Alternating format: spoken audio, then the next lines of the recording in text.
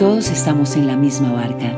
Hoy todos desde lejos nos vemos más cerca. Hoy esperamos que vendrá mañana. Por eso es hora que todos nos cuidemos, que hagamos lo mejor que podemos hacer, ayudarnos, entre todos, juntos, hoy. Todos necesitamos algo y podemos dar algo a cambio.